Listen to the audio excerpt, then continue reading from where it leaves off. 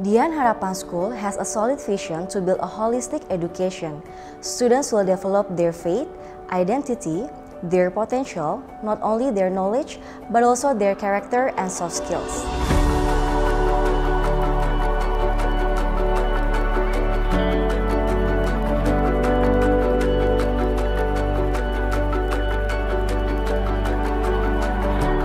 We are strongly equipped with spiritual and character building.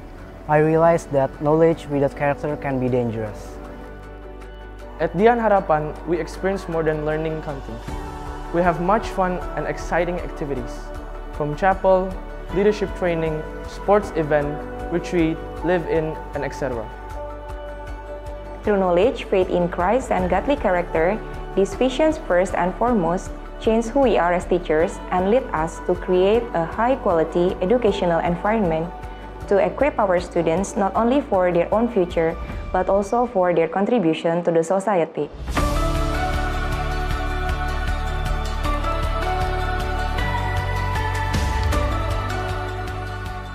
Our school is a member and in process of accreditation by Association Christian School International, which proves that our institution is very serious in developing holistic education in Indonesia.